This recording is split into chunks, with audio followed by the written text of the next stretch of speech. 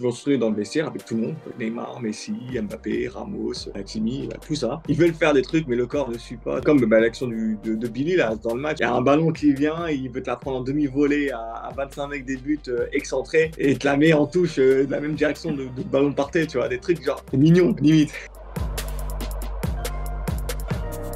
Yass encore et Billy, les deux. Ils veulent faire des trucs, mais le corps ne suit pas. Ils sont souvent déconnectés de la réalité du, foot, tu vois. Genre, en dehors des entraînements, ils sont là, ils parlent, ils, rigolent beaucoup et tout. Ils dès rentrent dans, dans, les entraînements, ils deviennent très sérieux. Mais en même temps, ils ont ce côté euh, naïf. Ils savent qu'ils sont pas très forts, donc ils font les efforts, donc c'est naïf. C'est marrant à voir parce que des fois, ils tentent des trucs qu'ils devraient jamais tenter et qu'ils savent qu'ils pourront pas réussir, mais ils les font quand même. Et en fait, ça, ça, en devient marrant. C'est comme bah, l'action de, de, Billy là dans le match. Il y a un ballon qui vient, il veut te la prendre en demi-volée à, à 25 mecs des buts euh, et te la met en touche euh, de la même direction de, de ballon partait, tu vois. Des trucs genre marrants, mais parce que c'est naïf, tu vois. Mignon, limite.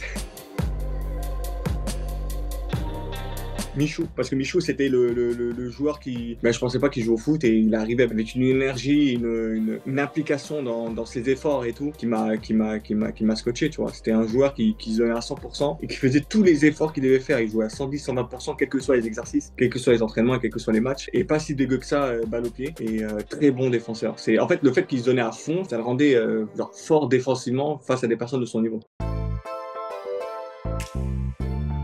Je dirais parce que c'est celui qui a le plus de maîtrise du ballon, c'est celui qui a le plus d'expérience d'un point de vue football, celui qui a joué au plus haut niveau, c'est lui qui était le plus calme sur le terrain, qui savait ce qu'il devait faire, qui gérait les autres. Donc voilà.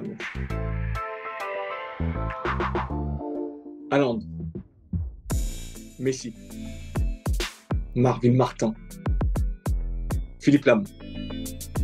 J'ai pas donné surnom à Carlito. Parce que c'est un défenseur, mais qui montait, qui se retrouvait 10 sans aucune explication durant un match. En même temps, son crâne dégarni. Vas-y, compagnie.